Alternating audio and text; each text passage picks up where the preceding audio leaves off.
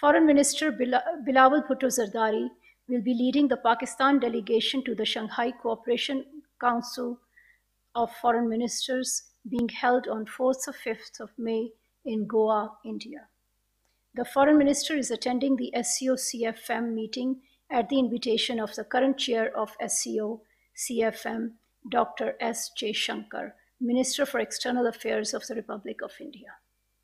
Our participation in the meeting reflects Pakistan's commitment to the SCO Charter and processes, and the importance that Pakistan accords to the region in its foreign policy priorities. Foreign Minister Bilawal Bhutto Zardari had also attended the last meeting of the Council of Foreign Ministers held in July last year in Tashkent.